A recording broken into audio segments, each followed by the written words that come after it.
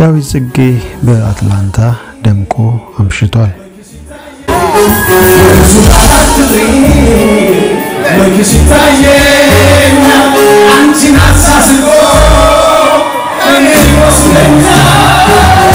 በግሩም የመድረክ አያያዝ ችሎታው የሚታወቀው ዳዊት ጽጌ በአትላንታ ኮስሞፖሊታን ፕሪሚየር የተገኘውን አድናቂውን ሲያዝናና አምሽቷል።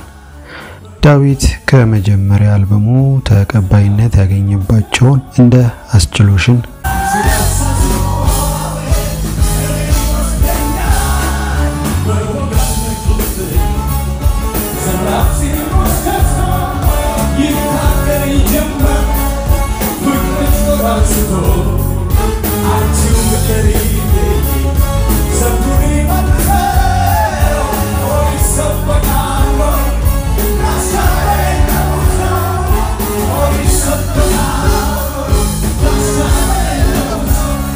ከቅርብ ስራዎቹ አበባ አይነሽን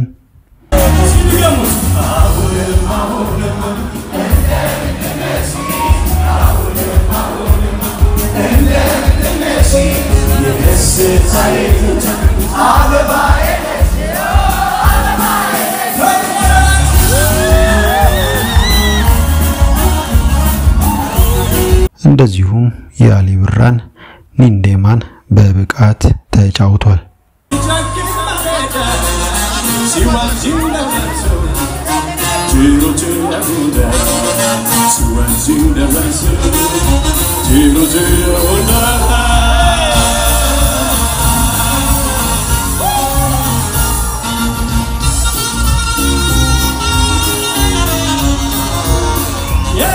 ኢትዮጵያ ከፍ ብላ በልጆቿ የምትታይበት በአትላንታ አሜሪካ በሰሜን አሜሪካ የኢትዮጵያ ስፖርት ማህበር ፕሮግራም መዝጊያ በዋናነት አስቴር አወቀ፣ ብርሃኑ ተዘራ፣ አረጋኝ ወራሽ፣ ጌትሽ ማሞና ሌሎችም ፕሮግራማቸውን አቅርበዋል።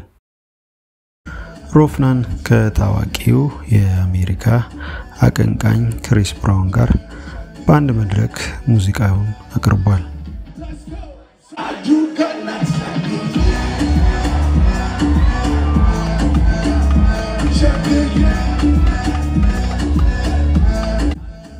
ሮፍናን ተወዳጅ ዘፈኖቹን ለኢትዮጵያውያንና ለአድናቂዎቹ በግሩም ሁኔታ አቅርቧል።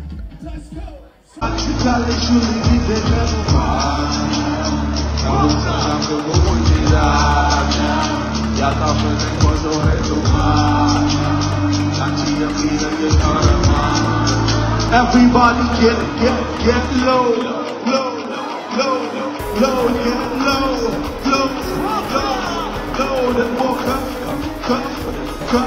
በተለይ በቅርብ ካወጣው አልበሙ ላይ የሚገኘውን ሸግዬን በታዳሚው ጥያቄ ደግሞ ደጋግሞ ተጫውቶታል።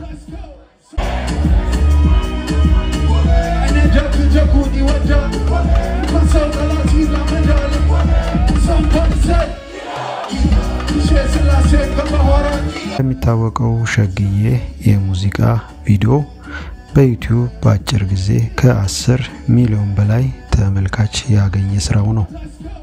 ለመጀመሪያ ጊዜ በታሪኩ የሀገራችንን ፕሪሚየር ሊግ ዋንጫ እንዲበላ ያደረገው የንግድ ባንኩ አጥቂ አዲስ ግዳይ ለፍቅረኛው ሜዳ ላይ ተንበርክኮ ታገቢኛለሽ ጥያቄ አቅርቦ ሌላ ሁለተኛ ዋንጫ አግኝቷል። አዲስ ግዳይ በዚህ ዓመት የንግድ ባንክ ወሳኝ ተጫዋቻቸው እንደነበረ ይታወቃል።